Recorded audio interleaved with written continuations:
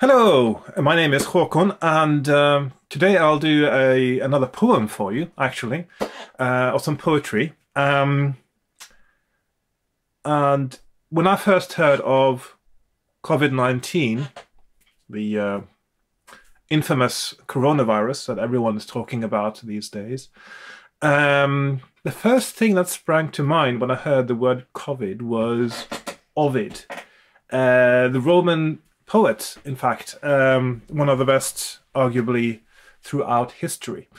Um, and although there is no such thing as Ovid 19, I thought I would do um, something from his, his Metamorphoses, uh, his one of his absolutely great epic works, uh, detailing the history of of the world pretty much, uh, and also trying to encompass all of mythology and and history in a way in an epic poem.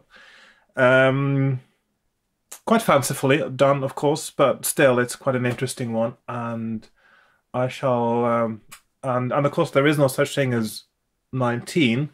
Um, what I did was I just counted down. The the text comes in different sections um, sort of blocks, um, paragraphs, if you will.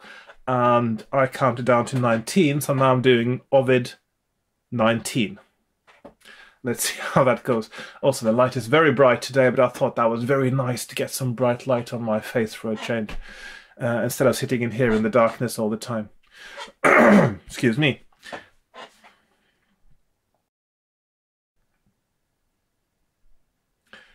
This was a single ruin, but not one deserves so just a punishment alone.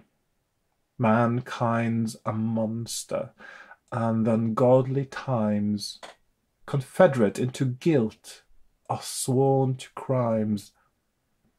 All are alike involved in ill, and all must by the same relentless fury fall.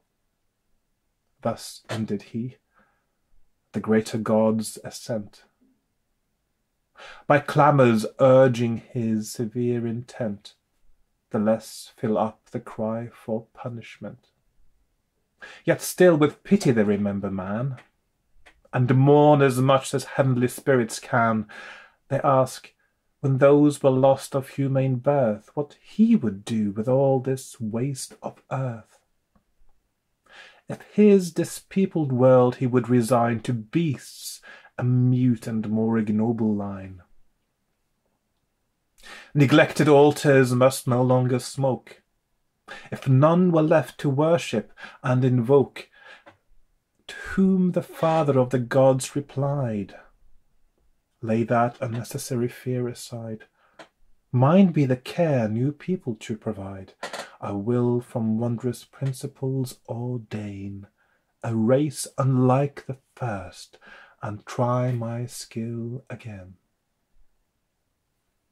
Thank you very much.